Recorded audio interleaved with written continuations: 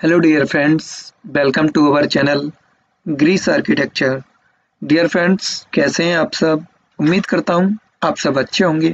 तो dear friends आज हम आपसे डिस्कस करेंगे बहुत ही शानदार प्लानिंग के बारे में जिसका साइज़ 18 फीट बाई 70 फीट है। तो डियर फ्रेंड्स इसको हमने two B H K with car parking plan किया हुआ है। डियर फ्रेंड्स जो लोग शिकायत करते हैं कि 18 फीट बाई 70 फीट में एक गली टाइप घर बन जाता है अच्छा घर नहीं बनता। तो उनके लिए चैलेंज है इस वाले वीडियो में कि उनके लिए ऐसा बिल्कुल भी नहीं मिलेगा। और ये पूरा और ये पूरा खुला एरिया रहेगा, और गली टाइप ये बिल्कुल भी नहीं रहेगा। तो डियर फ्रेंड्स इस प्लान को हमने सुमित जी के लिए प्लान किया हुआ है, और इसके कॉलम लेआउट के बारे में भी आपसे डिस्कस करेंगे। इसमें कितने साइज़ के कॉलम और कितने एम mm का सरिया इसमें लगेगा। तो डियर फ्रेंड्स वीडियो को शुरू से लेकर अंत तक देखते रहिएगा। और आपने हमारे चैनल को सब्सक्राइब नहीं किया है तो नीचे सब्सक्राइब बटन पर क्लिक करके हमारे चैनल को सब्सक्राइब करें। अगर आप सब्सक्राइब नहीं करना चाहते हैं तो डियर फ्रेंड्स आप वीडियो को लाइक तो कर ही सकते हैं। तो डियर फ्रेंड्स यहाँ से आप देखेंगे प्रॉपर्टी के वन साइड रोड है और थ्री अदर साइड अदर लोगों की प्रॉपर्टी है। लेफ़्ट और राइट वाला वॉल हमने साढ़े चार इंच में लिया हुआ है और बैक साइड वाला वॉल भी हमने साढ़े चार इंच में ही लिया हुआ है। क्योंकि प्रॉपर्टी के three other side already construction हुआ पड़ा है। तो डियर फ्रेंड्स यहाँ से आप देखेंगे, ये हमने नाइन फीट चौड़ी एंट्री दी हुई है। काफ़ी बड़े साइज़ की एंट्री है। एंट्री करते ही हमने पूरा 16 फीट का स्पेस छोड़ रखा है, जो कि हमारा स्टेयर केस और पार्किंग के लिए रहेगा। तो यहाँ आप 16 फीट लंबाई में कोई सी भी कार आसानी से पार्क कर सकते हैं। उसके बाद हमारा स्टेयर केस यहाँ से फ़र्स्ट फ्लोर के लिए जाएगा और ये हमारा तीन फिट छः इंच चौड़ा स्टेयर केस रहेगा। स्टेयर केस के नीचे एक हमने कॉमन टॉयलेट भी प्लान किया हुआ है, जो कि चार फिट बाई आठ फिट का रहेगा। और यहाँ तक आप अपनी दो से तीन बाइक आसानी से पार कर सकते हैं, किसी भी साइज़ की आप देखेंगे, यहाँ से हमारी एंट्री होती है, चार फिट चौड़ी ये हमारी एंट्री है, घर में अंदर जाने के लिए। जैसे ही आप एंट्री करते हैं तो सबसे पहले हमने फ्रेंड्स लिविंग हॉल प्लान किया हुआ है? तो लिविंग हॉल का साइज़ सत्रह फीट तीन इंच बाई पंद्रह फीट सात इंच रहेगा। ये आप देखेंगे काफ़ी बिग साइज़ का लिविंग हॉल है और इसमें ये सिटिंग रहेगा, ये टीवी यूनिट रहेगा। फिर आप यहाँ देखेंगे लिविंग हॉल से ये हमने ओपन आर्च दे रखा है। ओपन आर्च से जैसे ही आप एंट्री करते हैं तो यहाँ हमने किचन और डाइनिंग लॉबी एरिया और टेंपल के लिए स्पेस दिया है। तो यहाँ आप देखेंगे इस साइड हमारा किचन रहेगा सात फिट बाई आठ फिट तीन इंच का।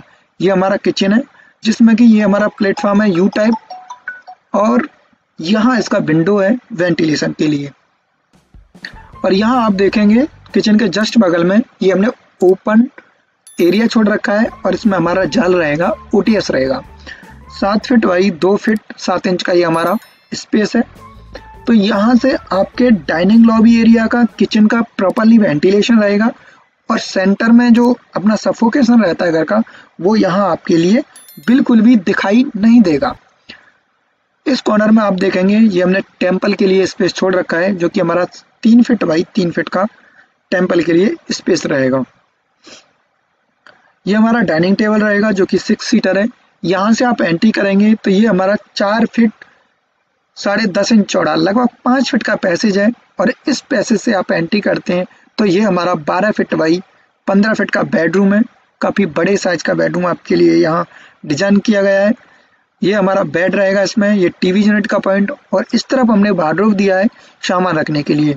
टू सीटर इसमें हमने ये सोफा भी डाल रखे हैं। यहाँ आप देखेंगे, इसके वेंटिलेशन के लिए विंडो दिया है और यहाँ एक गेट दिया है।